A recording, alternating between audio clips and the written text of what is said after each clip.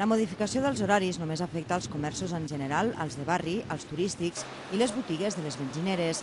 De la mateixa manera que la llei aprovada el 2010, el projecte de modificació presentat avui preveu que en cas d'acord, mitjançant un conveni col·lectiu entre l'empresari i els treballadors, l'horari serà lliure.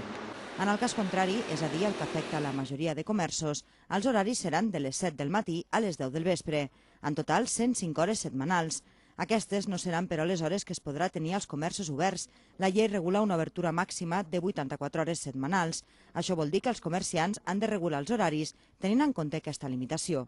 Per tant, els comerços, tot i poder obrir de 7 a 10 de la nit, no vol dir que, que siguin d'obligat compliment, són límits i màxims.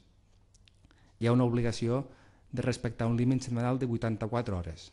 La limitació no s'aplicarà però als petits comerços ni a les botigues de les benzineres, que es podran continuar tenint obert les 24 hores pagant un impost anyal de 20 euros al metre quadrat.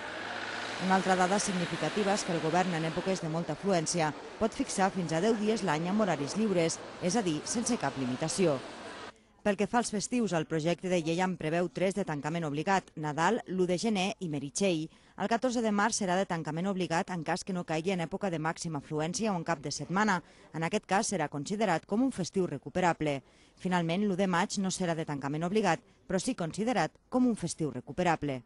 Pel que fa al dret al descans setmanal, el govern ha volgut mantenir el dret dels treballadors a tenir 10 diumenges de festa l'any.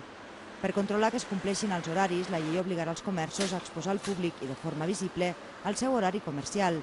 Està previst fer una reglamentació en el format indicatiu i més endavant es permetrà publicitar els horaris en una web habilitada específicament. Finalment, i per evitar abusos, l'executiu ha volgut incloure en la modificació una disposició addicional en la qual s'indica que els locals hauran d'impulsar polítiques actives per conciliar la vida familiar amb la laboral.